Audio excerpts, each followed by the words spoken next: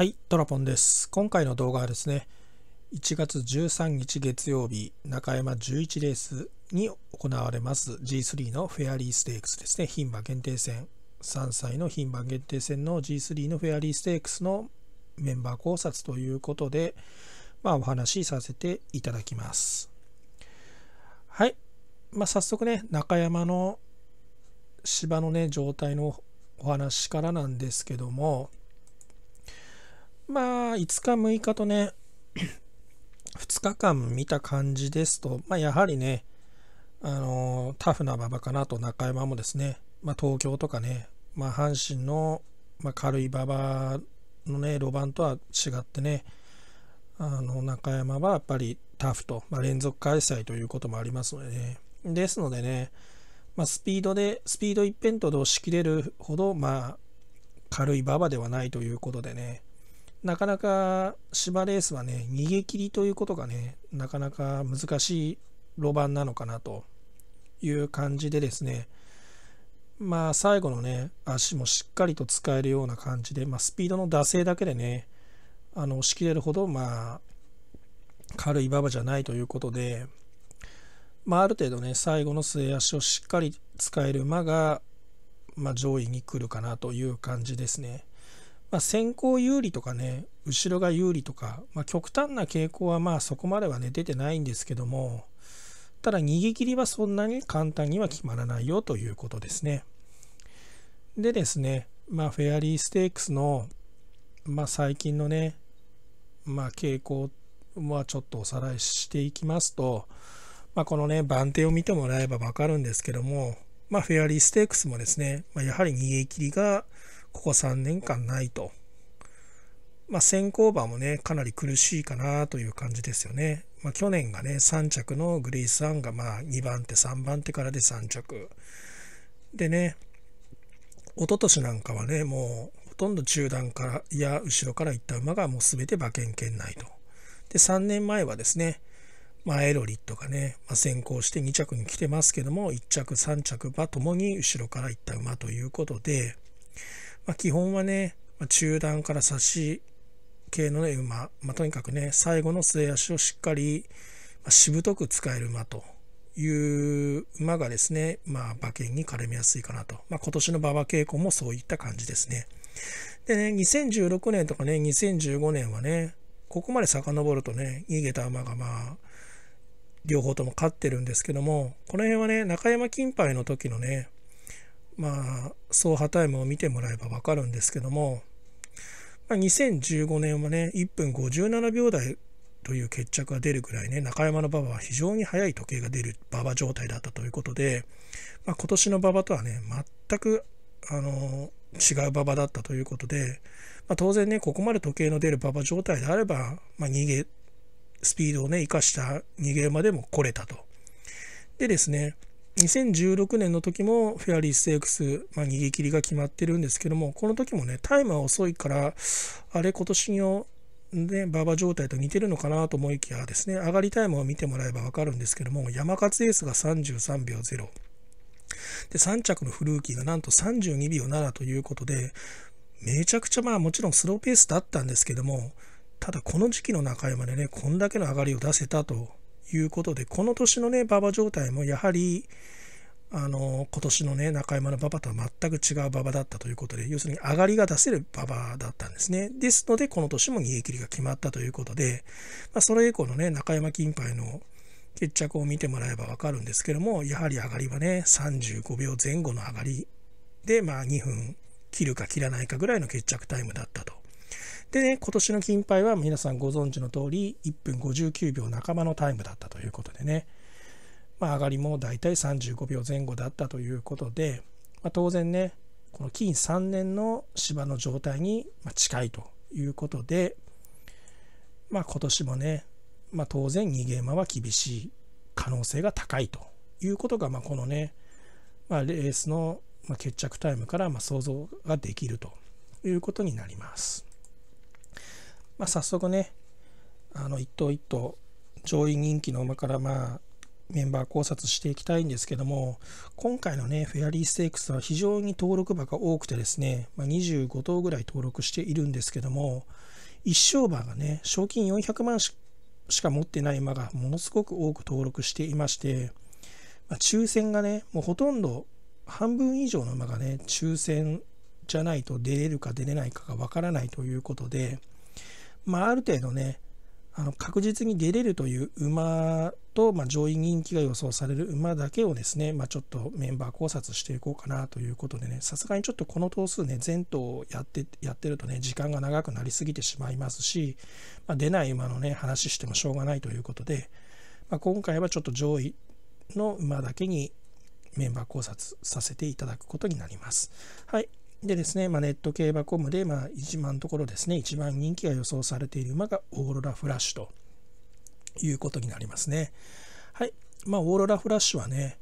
ま、前々走東京の 1600m で、まあ、未勝利を脱出しました。3走前ね、この中山の 1600m、このレースタイム差なしの2着なんですけども、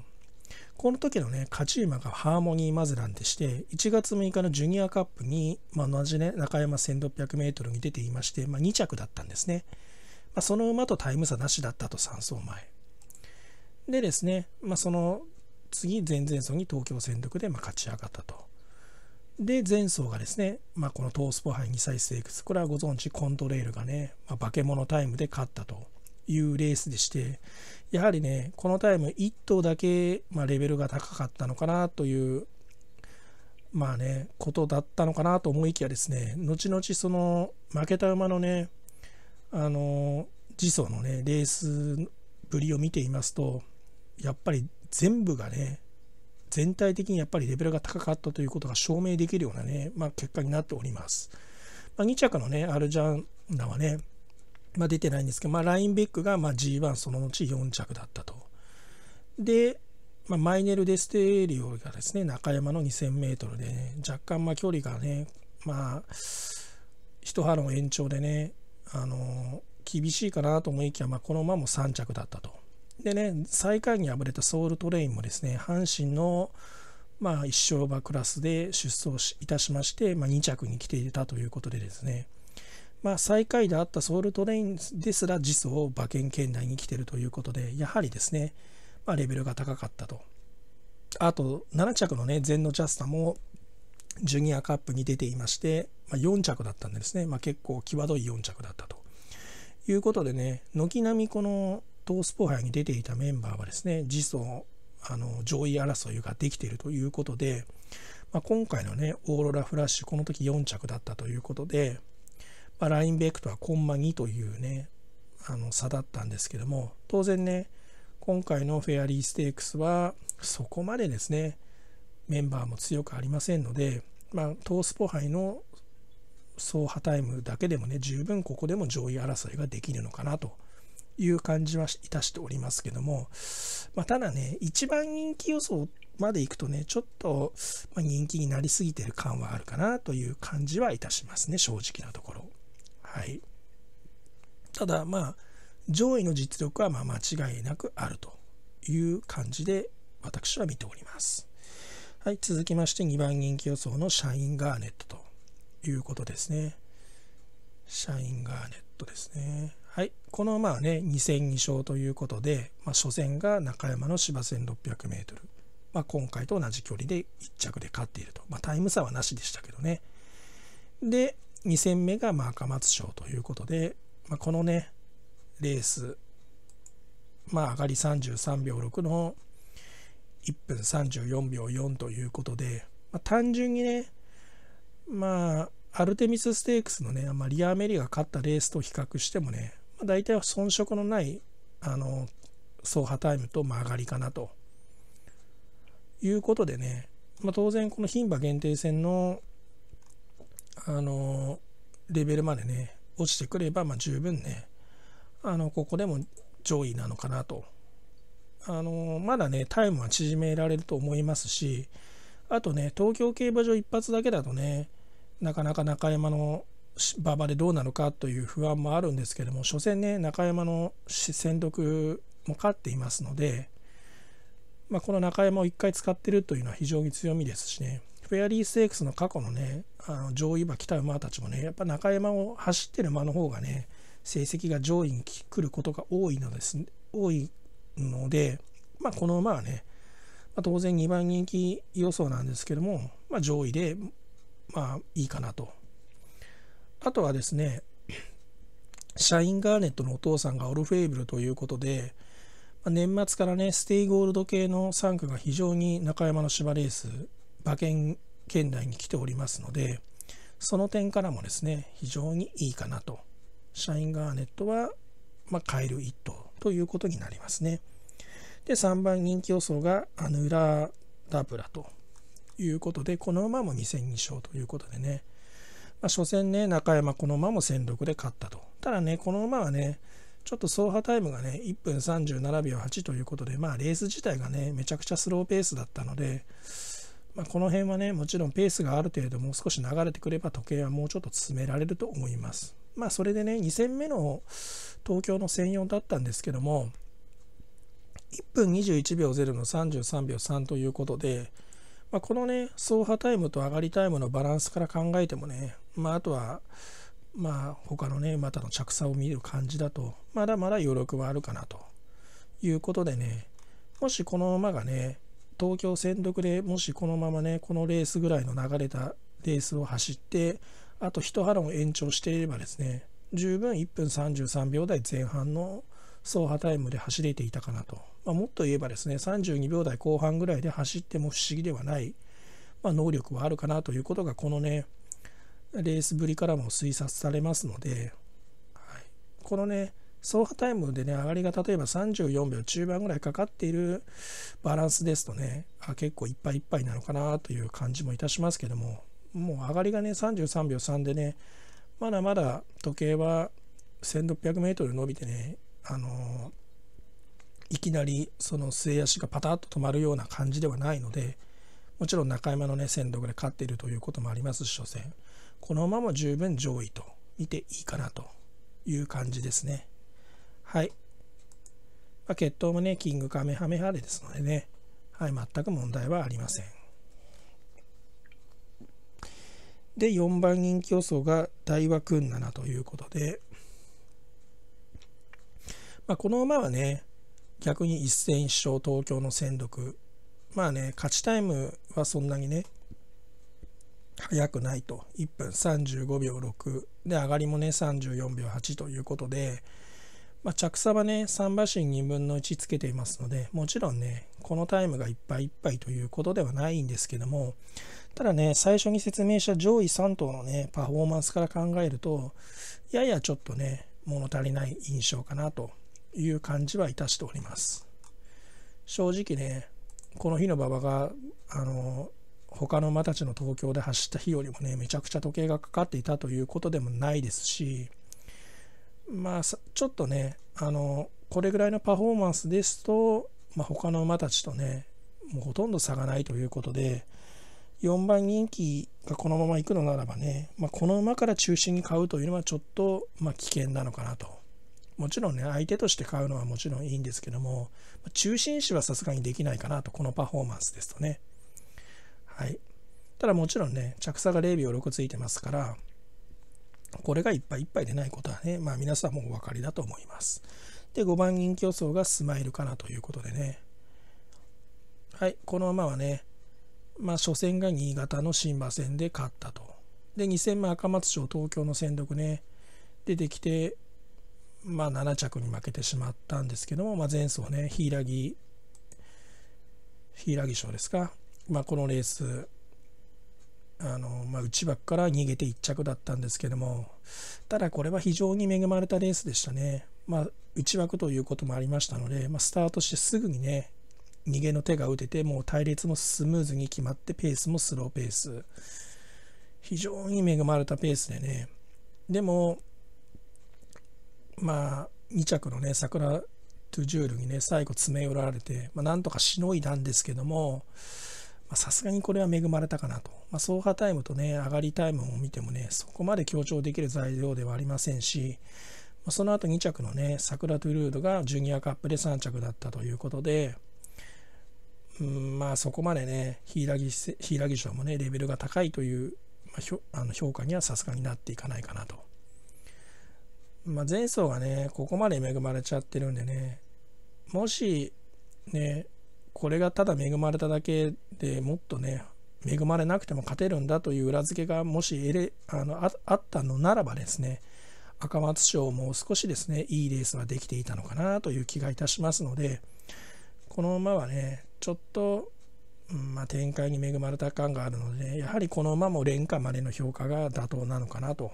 中心視はさすがにできないかなという感じがいたしております。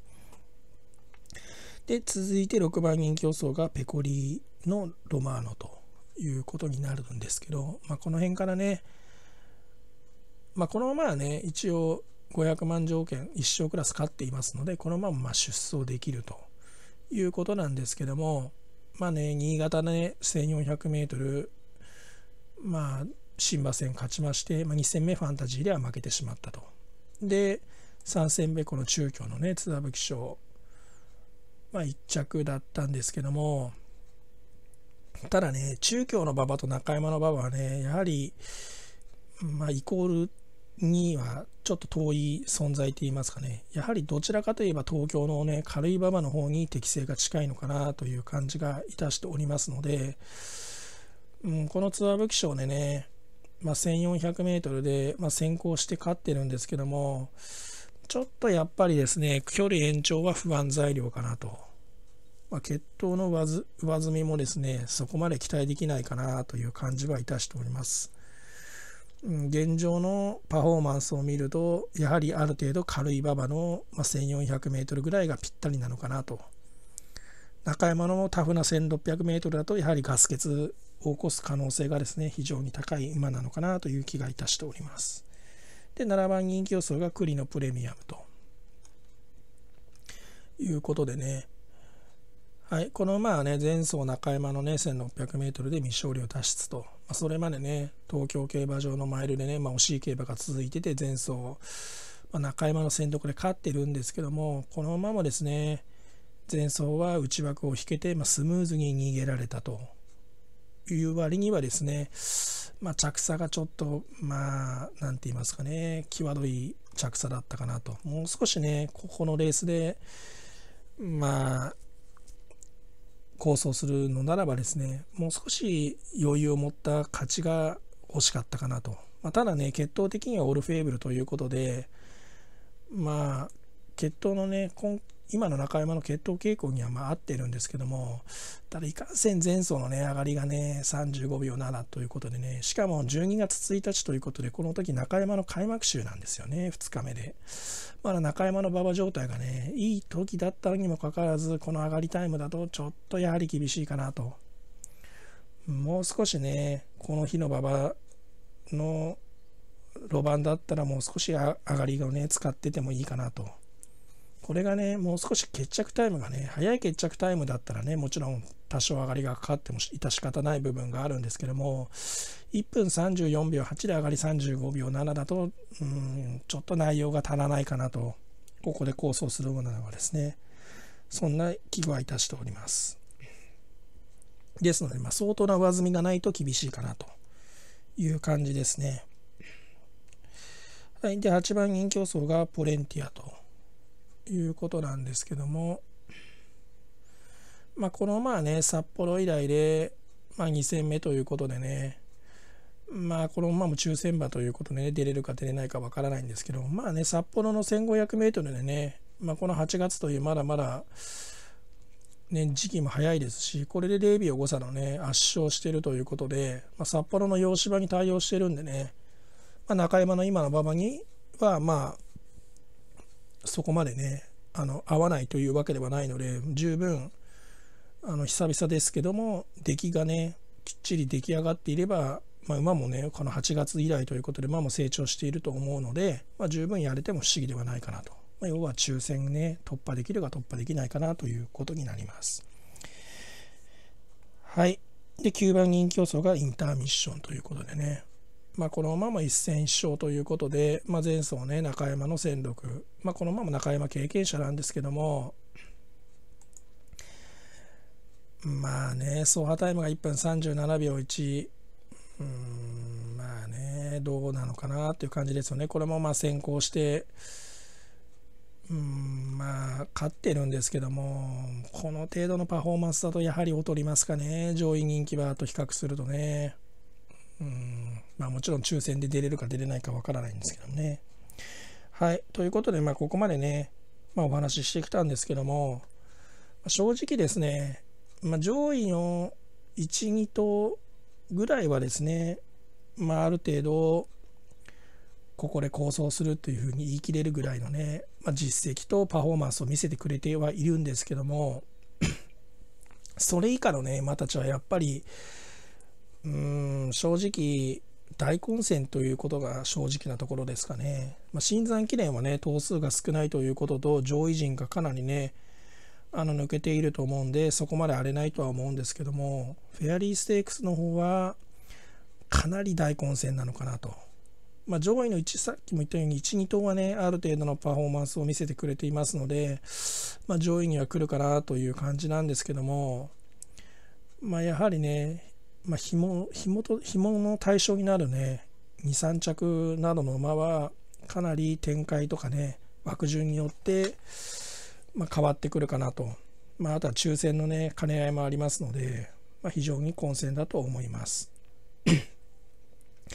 はい。ということでね